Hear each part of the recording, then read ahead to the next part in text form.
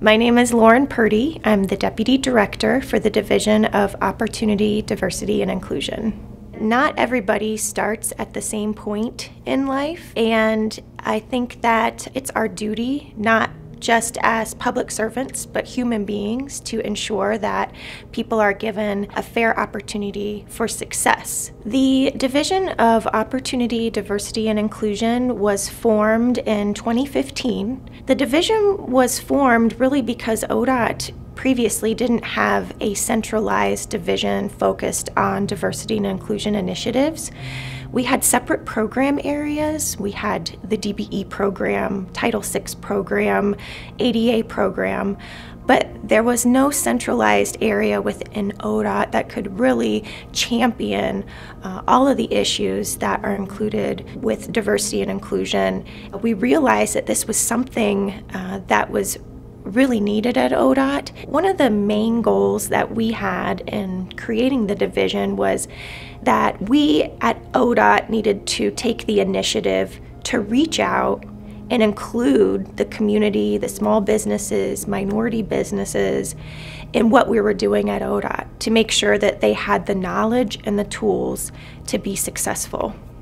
Within the division of ODI, we have three offices the Office of Business and Economic Opportunity, the Office of Civil Rights Compliance, and the Office of Outreach.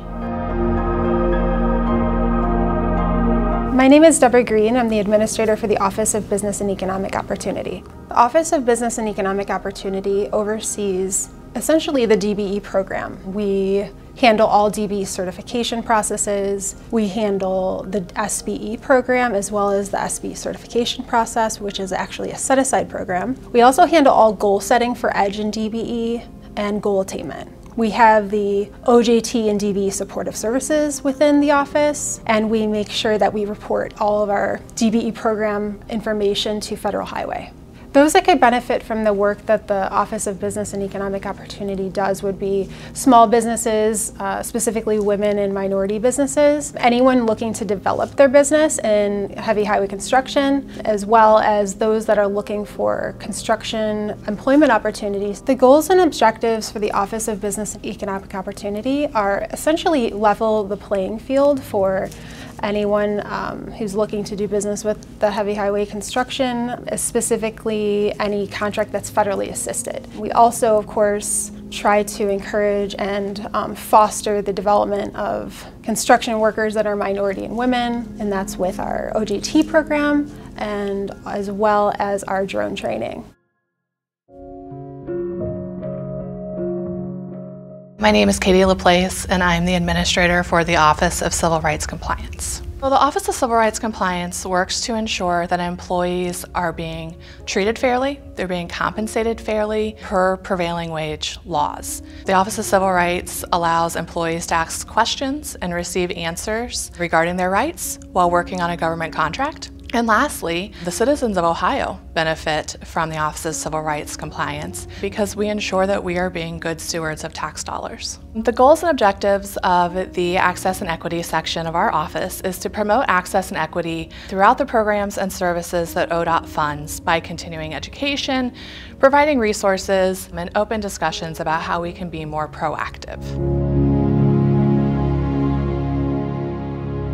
I'm Lynn Stevens. I am the administrator of the Office of Outreach. Our Office of Outreach is structured regionally. Basically, we're dividing up the state into four regions. So we have outreach managers in each of these regions that handle the outreach in those particular areas of Ohio. So we are in the community, in the regions, meeting with businesses, meeting with individuals who are interested in doing business with ODOT or learning how to do business with ODOT. Our educational sessions, our webinars, our events, uh, such as match matchmakers, everything that we do as far as reaching out to the community that is under our jurisdiction in the Office of Outreach. We like to be a one-stop shop for our stakeholders, for our businesses um, who are looking to do business with ODOT or who are already doing business with ODOT. We can be an initial entry point for small, disadvantaged, minority um, business owners, large contractors, prime contractors. We can help connect them to the appropriate division, appropriate stakeholders here at ODOT.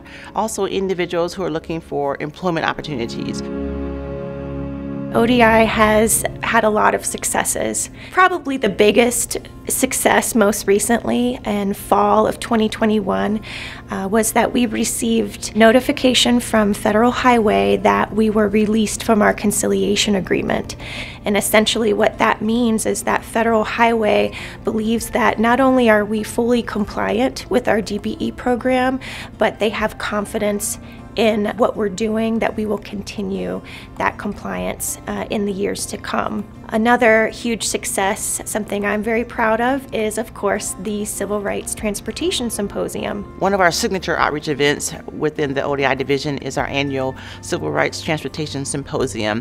So the, our Office of Outreach takes the lead on planning that symposium, which is a great, fantastic opportunity to highlight diversity in the transportation field. We're just excited to bring a plethora of community leaders, governmental leaders, business leaders um, together to network and learn about what the Ohio Department of Transportation is doing in the area of, of diversity and inclusion. When you treat people fairly and equally, everybody benefits the trust that we have gained from the public, from the community, that we are not just talking the talk, but walking the walk, and we're willing to make changes and to focus on these issues and to do what needs to be done to make a difference thank you